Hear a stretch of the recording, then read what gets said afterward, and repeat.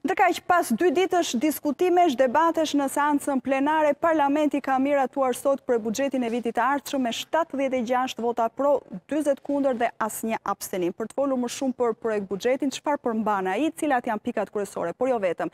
Edhe për projektligjin për portin e Durrësit që është miratuar po dje dhe që ka patur shumë diskutime nga deputetët e mazhorancës dhe të opozitës, me mua në studio për të gjitha këto është eksperti ekonomist Fatos Çoçoli. Fatos, mirëserdhe, kënaqësi që t'ju kem.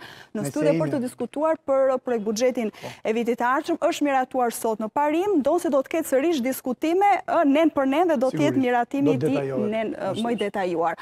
Atëherë, të ardhurat në buxhet do të ketë një rritje prej 17% nga 4.6 miliard euro që ishte vitin e kaluar në 5.4 miliard euro. është një rritje e Nga do të vinë, nga do të vinë këto të ardhurat, Fatos? Brun nga inflacioni. Inflacioni është motori kryesor që gjeneron të ardhura shtesë shumë më tepër se ç'kanë parë në çfarëdolloj viti le të themi të këtyre tre dekadave të fundit. Jo vetëm buxheti ynë i shtetit. Mhm. Buxhetet e vendeve të rajonit tonë Brun, edhe njëkohësisht buxhetet e shteteve të zhvilluara të Bashkimit Evropian. Kështu që ai 17% Nuk është se një pjesë e mirë është nga miradministrimi fiskal, pra nga mbledhja e mirë e efektive e taksave dhe tatimeve.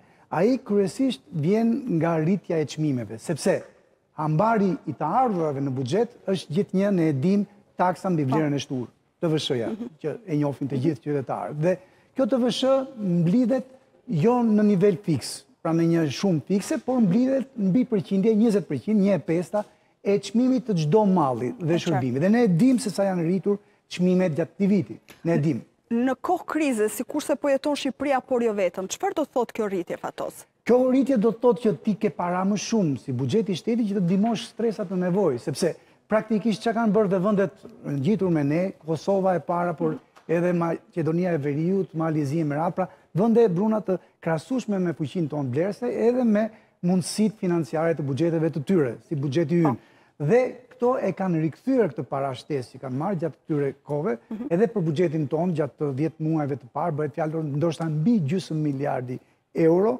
ende nuk ka dalë, si të thuash, raporti i Ministrisë së Financave për dhjetëmujorin, janar tetor, por dihet që të paktën për nëntëmujorin ishte në një shifër të konsiderueshme, shumë e lartë. Kështu që këto para buxhetet përpiqen t'ia rikthejnë qytetarëve, po sidomos shtresave në nevojë, pensionistëve dhe atyre me asistencë sociale. Po ashtu sikurse do jenë më të larta të ardhurat, po aq do të jenë edhe shpenzimet për vitin e ardhshëm. Do të ketë një rritje prej 8%, nga 5.4 miliard euro që ishte vitin e kaluar, në 5.9 miliard euro, Fatos.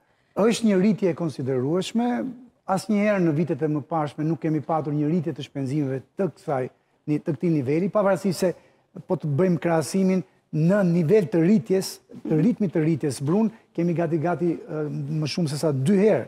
Nëse të kujtohet, ke grafiku i mëparshëm kishim 17% po. të rritjes së të ardhurave. Ndërkohë që shpenzimet që gjithnjë, nga që buxheti del me deficit, mhm. është natyrshme, janë pak më të larta se sa të ardhurat, po pak a shumë aty aty. Domethënë, neve shpenzojmë le të themi 3.7, 3.8 miliard euro mhm. në vit, dhe të ardhurat i kemi këtu diku te 3.5, 3.4. Grafiku i radhës do të jetë përsa i përket deficitit, në mos gaboj. Pra, të ardhurat, deficiti do të jetë më i ulët, më i ulët se vitin e kaluar. Si duhet ta kuptojmë këtë në raport me të ardhurat dhe po, shpenzimet? Kjo është një zgjedhje e qeverisë sonë. Si ekonomist me shumë sinqeritet do të thoja që nuk do të isha për këtë zgjedhje. Pse? Sepse jemi në një vit ku vetë qeveria e thotë të çmimeve të luftës. Pra jemi në një vit emergjence. Dhe të provosh të përmirësosh treguesit makroekonomikë që quhen, mhm. pra treguesit kryesorë financiarë të shtetit tonë, në kurriz të të ardhurave më shumë të buxhetit të shtetit për shkak të inflacionit më duket e padrejtë në nivel të masave sociale. Pse e padrejtë? Sepse në radhë të parë këto paratë të shtuara në buxhet vijnë nga pagimi i taksave të qytetarëve që rëndohen për shkak të inflacionit. Neve e dimë, deri tani që flasim, dhjetëmujori ishte në nivel të gjashtë pikë shtatë deri afërsisht shtatë për qind inflacioni mesatar. Për të mos folur pastaj për inflacionin mujor që ne e dimë tetë për qind ishte në shtator, tetë pikë një për qind ishte në mhm. tetor. Edhe nëndori nuk duket që do jetë si thua më i ulët. Në këtë kuptim, këto para që si thua shpenzohen më pak në buxhetin e shtetit dhe ulet ndjeshëm me 24% gati gati gjysëm për gjysëm, po?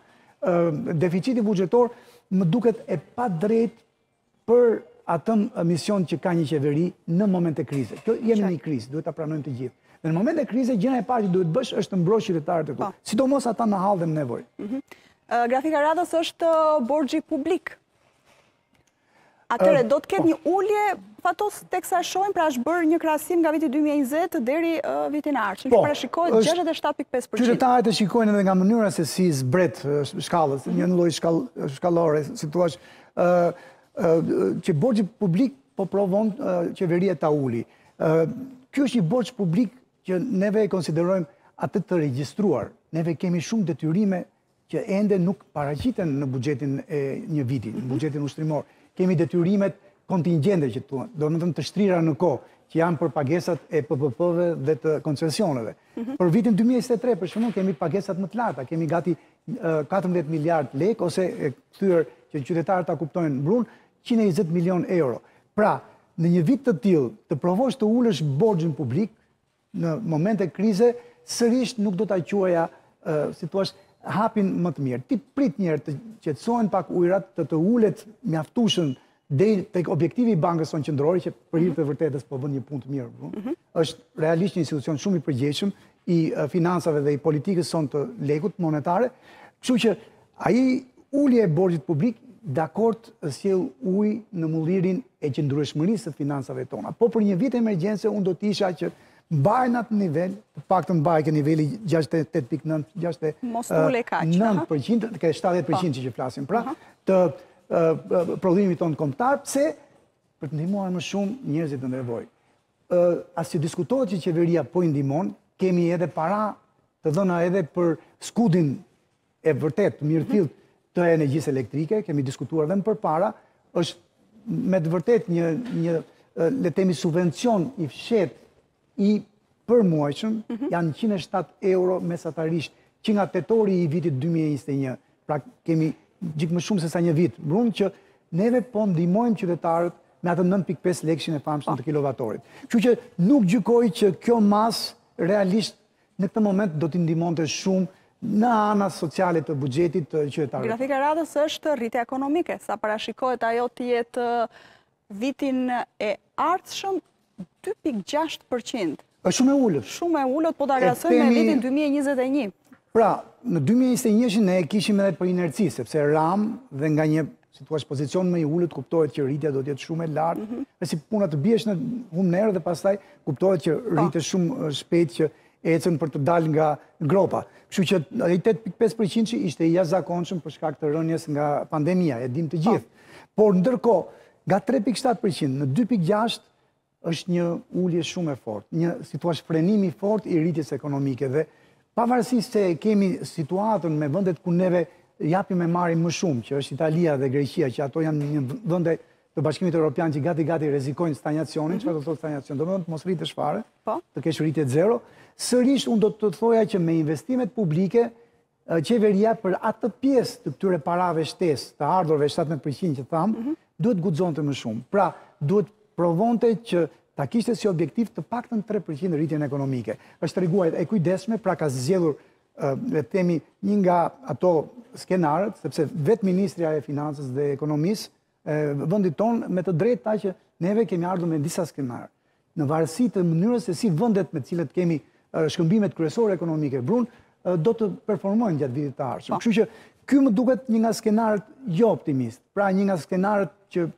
mund të jetë jo më negativi, por sërisht jo në nivelin e pritshmërive mhm. në radhë të parë të biznesi. Biznesi Pret për një mesazh pozitiv. Ne ekonomistët në tërësi, Bruna e shofim gotën gjysmë plot.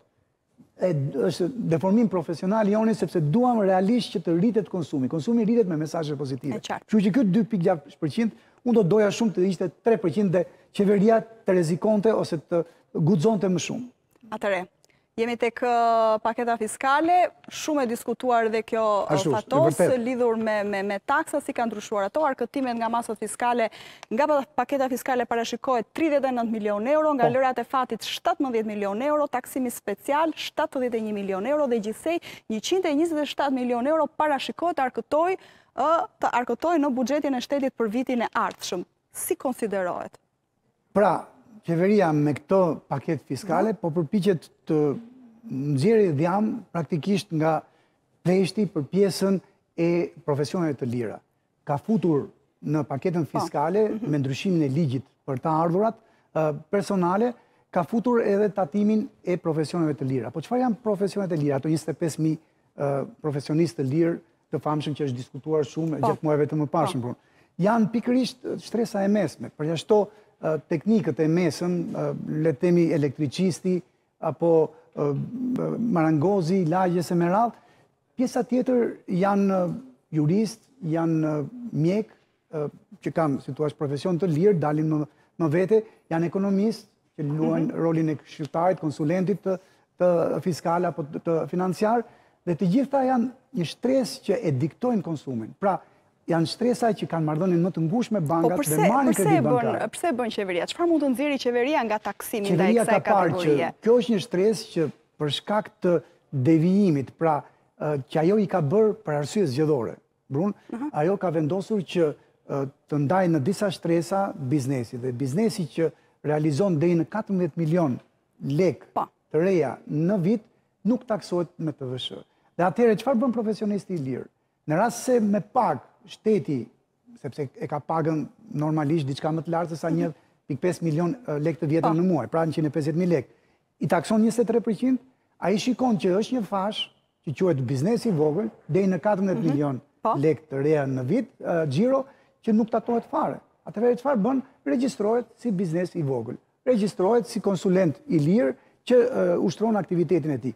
Ka ndodhur me qindra në mos mijëra regjistrime të tilla. Dhe qeveria me të drejtë ka parë që ka një devijim, ka një shmangie të fortë fiskale. Po. Mendon që pikërisht Përveç lojave të fatit, një pjesë të mirë të parave, diku aty te 19 milion euro, t'i arkëtojë nga taksimi që do i vendosë këtyre profesionave të lira duke i konsideruar të vetëpunësuar. Dy fjalë dhe për taksimin special, Fatos? Në këtë kategori, kush përfshihet? Është folur shumë për taksën e veçantë që qeveria po mendon, Bruna, ende nuk e ka të parashikuar për të thënë të drejtës së vërtetës në buxhet, për ato kompani që janë private që prodhojnë energji elektrike te ne, ne kemi disa HEC-e private, por që nuk e shesin brenda në... Po, e ka thënë kryeministri në një, po, dalje në mos gaboj për tre kompani në, po, mos gaboj. Në sistemin, po, tonë energjetik, por e shesin jashtë. Ndërkohë që çmimi i energjisë elektrike, sikurse dinë të gjithë qytetarët tanë, është rritur me herë. Pra, është një fitim që në një kohë kur kostot e prodhimit të, mhm, energjisë elektrike nuk kanë ndryshuar, nuk janë rritur me herë, Po. Mund të jenë rritur 5%, 10% kostot e transportit për shembull, për pjesët e këmbimit të hidrocentraleve tona private, por me atë pak a shumë kosto të njëjtë, po nxjerrin fitime disa herë. Dhe qeveria me të drejtë ka menduar, dhe nuk është vetëm qeveria jonë, të njëjtën taksë speciale e kanë vendosur dhe shumë vende të tjera në Ballkan edhe më gjerë në Evropë.